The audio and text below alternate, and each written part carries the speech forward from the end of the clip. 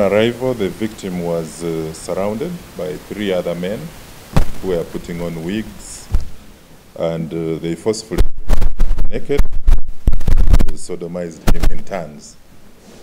They were joined by the teacher, uh, Pak Cho Derek, so four different men, you know, descending on a 16-year-old male juvenile and uh, aggravatedly defiling and sexually assaulting him. But I want to thank the Defense Secretary of Sivante Village, uh, Mr. Ansumba Solite, who took interest in the matter and uh, brought it to police. We managed to arrest the suspect. We recovered exhibits, sex toys, and drugs that are used, and uh, uh, other exhibits, including jelly that they use uh, in these uh, sex crimes.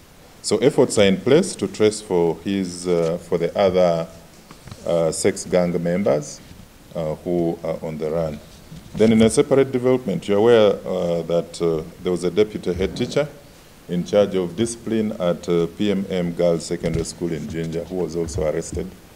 We managed to prevail over parents who were angered and uh, had raided the school uh, demanding for the immediate resignation, arrest of uh, uh, the deputy head teacher. Of course, we went ahead and uh, arrested this uh, deputy head teacher and is still in our custody. And we are now trying to gather witness, witness statements and documentary evidence uh, that can help us in trying to uh, establish uh, cases of aggravated defilement, the grooming of young girls into unnatural sexual practices, and even trafficking uh, in persons. Uh, but however, what is sometimes interesting is that people will always come up and make a lot of allegations. But even as we talk now, the many counselors who are saying, for me, I have three victims. They have never, they are up to today. They have not availed these victims for us to interrogate them and examine them because the evidence we need to pick on their bodies is there, should be there.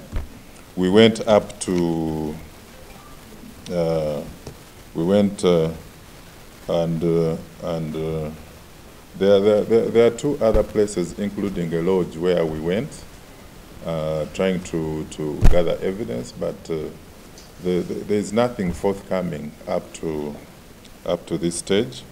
So it is always important that uh, when we have uh, uh, complaints and, and such allegations like this, let's be ready to support the investigation.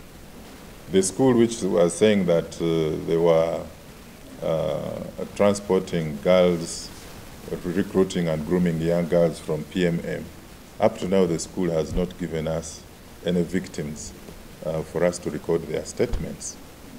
The, the only person whom we got is uh, a lady uh, who was uh, staying with the deputy head teacher as, uh, as uh, uh, husband and wife. You know, they are both females. There's one who plays the other role of uh, a husband and, and a wife. So we still have her in our custody and uh, she's supporting our investigations. We got some sex toys, we got condoms in their home and uh, inquiries are actually uh, continuing. So uh, for the instance of, uh, for the incident of uh, we managed to charge uh, Pak Cho um, uh, this uh, Pak Derek to court uh, on the 1st of, uh, of March. That was last week.